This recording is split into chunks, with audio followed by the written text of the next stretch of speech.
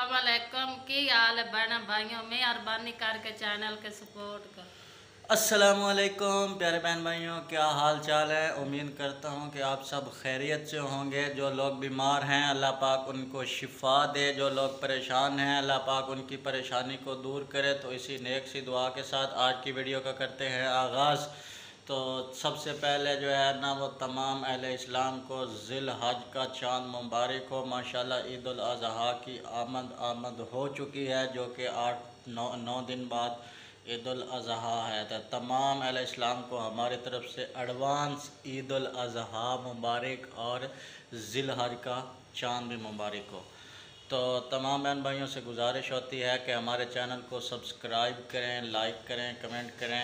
अच्छे अच्छे कमेंट करें ताकि हमारी हौसला अफजाई हो सके। हम इतनी मेहनत से वीडियो बनाते हैं तो आप बहन भाइयों से एक ही अपील होती है कि हमारे चैनल को पूरी सपोर्ट करें। तो आज की जो भी रूटीन होगी, आपके साथ शेयर करेंगे। इन और माशाल्लाह आपने हमारी वीडियो के साथ साथ जुड़े रहना है। आज की वीडियो आगे बहुत ही इंटरेस्टेड वीडियो होने वाली है। तो आप बहन भाइयों से गुजारिश यही है कि हमारे चैनल को सपोर्ट करें और हमारी वीडियो को फुल वॉच करें। तो आज की जो भी रूटीन होगी, आपके साथ शेयर करेंगे। बहन भाइयों, ये देखें, माशाल्लाह, बच्चे जो है ना, वो ट्यूशन के लिए तैयार हो चुके हैं और जा रहे हैं ट्यूशन पढ़ने के लिए। और ये देखें, ये इधर खड़ी है ईमान फातिमा, इसने कमीज़ उतारा हुआ है गर्मी की वजह से। मान इसने गर्मी की वजह से ये बुनियान पहनी हुई है। और ये देखें, ये अली और अरूज जो है ना, वो ट्यूशन के लिए तैयार हो चुके हैं अली हसन की जो है ना, वो आज करवाई है बालों की कटिंग और माशाल्लाह अभी जो है ना, वो प्यारा लग रहा है। अरे बहन भाइयों, ये देखें, ये आज फिर बैरिया टाउन साइड पे आया था तो मैंने कहा, बहन भाइयों के साथ इसकी जो है ना, वो वीडियो शेयर कर दूँ। ये देखें, माशाल्लाह बहुत ही प्यारे मनाजिर बैरिया टाउन के। माशाल्लाह, रोड बहुत प्यारे प्यारे, खूब खूबसूरत रोड हैं।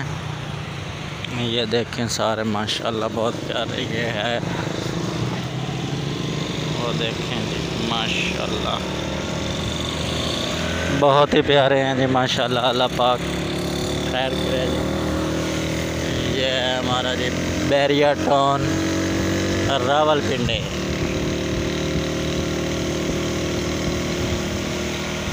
क्या खूबसूरत मनाजिर।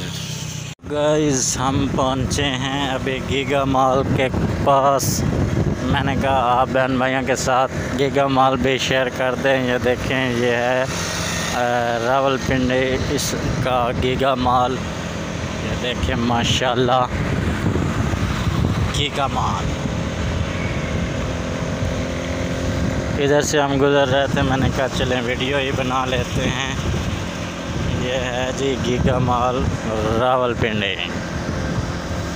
यह पता नहीं इस्लामाबाद है, इस चीज़ का कन्फर्म नहीं है।